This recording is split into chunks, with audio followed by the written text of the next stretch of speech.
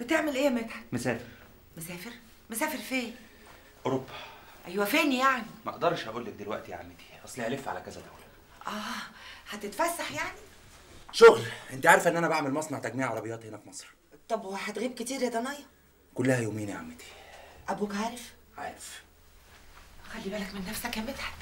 اوعى يا ضنايا حد هناك يضحك عليك ويقول لك اشرب ده ولا شم ده. اوعى يا ضنايا الشيطان يوزك وتعمل حاجة وحشة.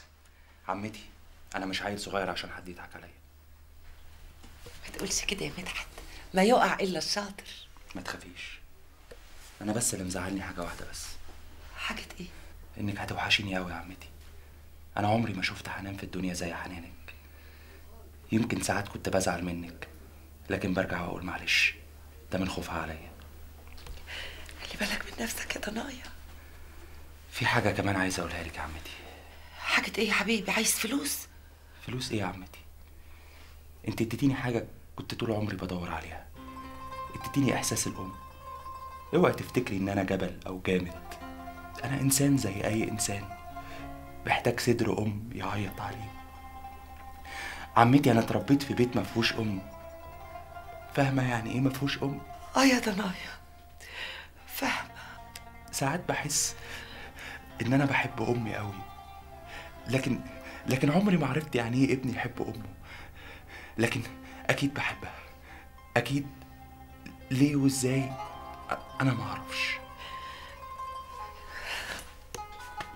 خلي بالك من نفسك يا ضنايا خلي بالك من نفسك. أشوف وشك بخير يا عمتي. خلي بالك من نفسك يا مدحت وترجع لنا بألف سلامة يا ضنايا يحميك يا رب.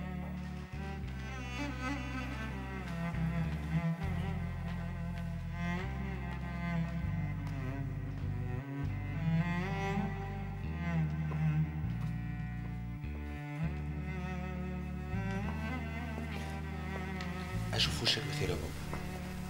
خلاص؟ ماشي يا ابني. أيوه يا بابا. خلي بالك من نفسك ها؟ تتأخرش.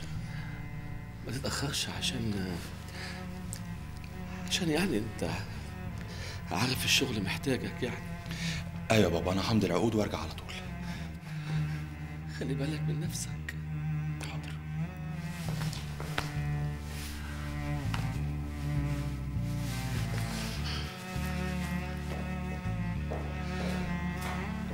مع السلامة يا ابني.